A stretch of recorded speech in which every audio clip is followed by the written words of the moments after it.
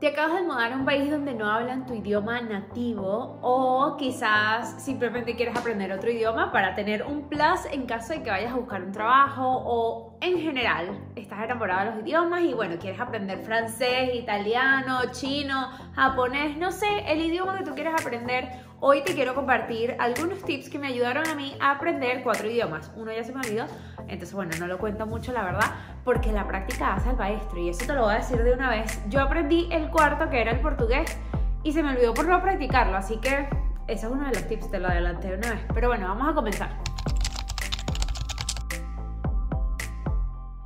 Lo primero, y lamento romperte el corazón si pensabas que esto iba a ser posible, pero una hora a la semana no es suficiente para aprender un idioma. Uno tiene que tener constante educación, constante estudio si quieres aprenderlo fluidamente, rápidamente también. Que no te digo, ah, te va a tomar dos meses nada más o seis meses como me tomó a mí aprender inglés. No te voy a decir eso porque tu situación es muy diferente a la mía. Quizás tú estás trabajando y cuando yo aprendí inglés yo estaba solamente estudiando ocho horas al día, todos los días por seis meses. Pero de algo que sí estoy muy segura es que una hora a la semana no te va a ser suficiente. Necesitas constantemente añadirle conocimiento a tu cerebro sobre este idioma, sea que lo estés practicando. Ponte que ya tú vives en este país. Bueno, diariamente esfuérzate a salir a escuchar cómo habla la gente, a, ver qué es lo, cómo, suena, cómo pronuncia ciertas cosas, o ponte a clases eh, online. Haz algo diariamente que te añada un granito de arena, porque si no tu cerebro va a volver a, ok, aprendimos esto hoy, pero si no lo hacemos por una semana o dos, eso se le va a olvidar y va a decir, ay, ¿dónde es que era que nos habíamos quedado? No, o sea, no pierdas tu tiempo. Si te vas a enfocar en aprender un idioma, intenta que vas a tener el tiempo suficiente para dedicarle y aprenderlo. Ahora, muchas veces te dicen, bueno, apréndete las palabras al caletre, o sea, se dice así exactamente. Ajá. Y eso está bien, puede que funcione de verdad para aprender vocabulario y sabes nuevas palabras y buenísimo. Pero algo que a mí me funciona es cuando conecto una palabra con una emoción. Por ejemplo, si alguien me está contando algo y me dice ciertas palabras y yo, y, todavía me pasa, hay veces que personas dicen ciertas palabras que yo no entiendo, pero logro conectarlo con el contexto y la emoción de la persona y luego lo busco, ah, sí, es esto y esto, ¿no?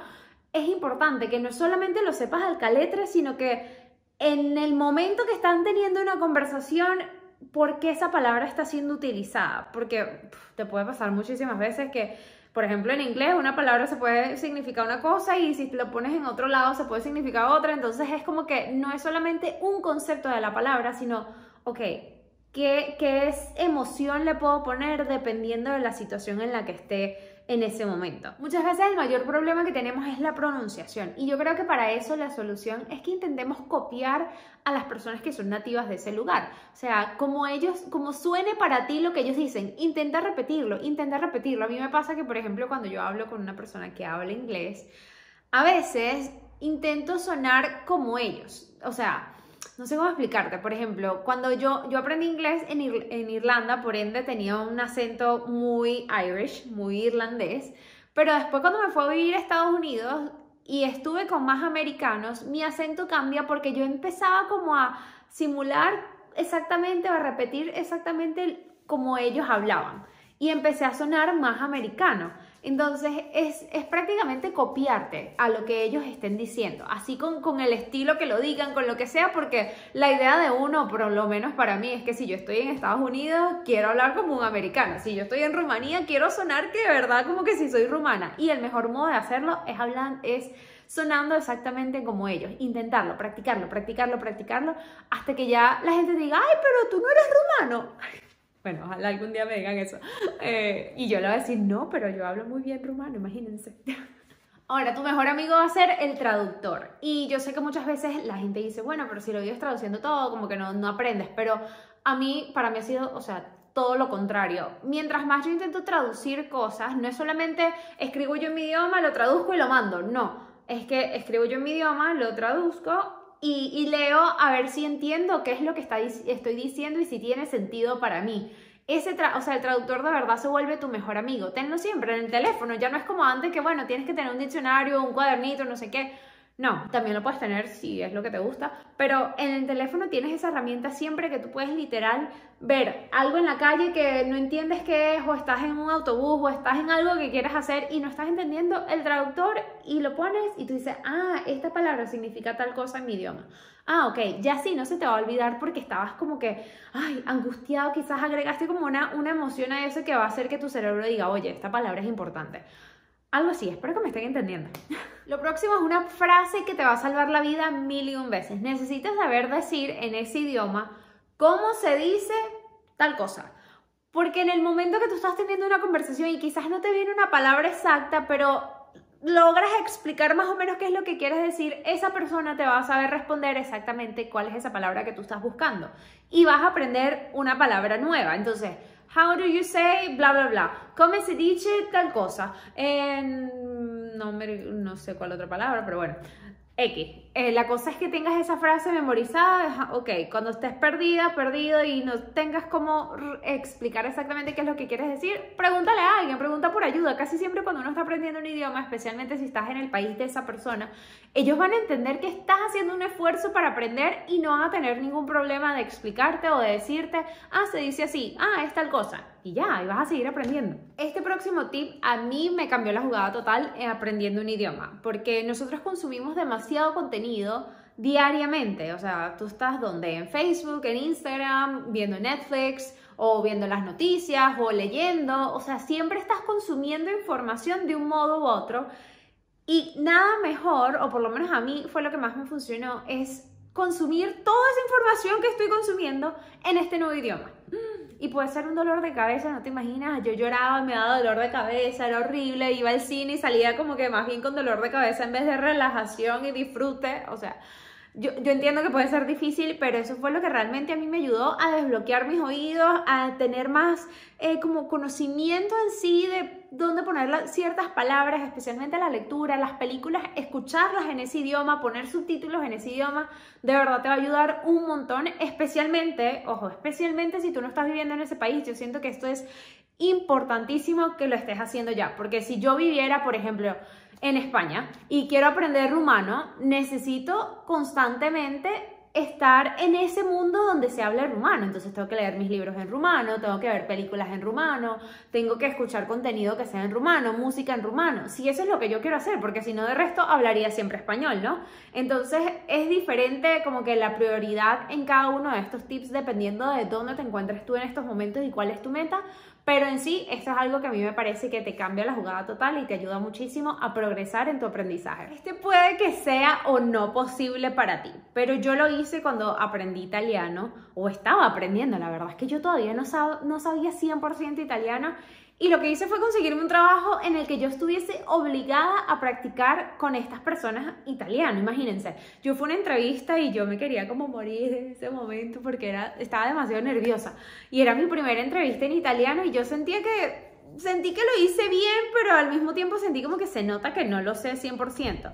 Sin embargo, me dieron el trabajo y eso me permitió a mí estar todos los días, 8 horas al día, estudiando, no, eh, trabajando con personas que, que hablan solamente ese idioma todo el día en mis oídos y eso me ayudó un montón también a aprender nuevo vocabulario. Entonces, si tú estás en un trabajo donde requieren ya que tú sepas este idioma y ya tú tienes una base, no le vas a mentir obviamente porque te va a salir fatal la cosa, pero ya tú tienes una base, intenta, ok, aplicar y, y, practicar, utilizar eso para practicar. Si estás en este nuevo país, no tengas miedo a buscarte un trabajo donde quizás necesiten primordial tu, tu idioma, pero también necesiten que hables el segundo idioma algo así también siempre te va a ayudar un montón y, bueno, yo sé que no todo el tiempo te puedes estar cambiando de trabajo, pero si es la oportunidad que tienes en este momento, como yo la tuve en Italia, te lo recomiendo que lo hagas y que no tengas miedo a hacerlo. Y es no tener miedo a decir estupideces.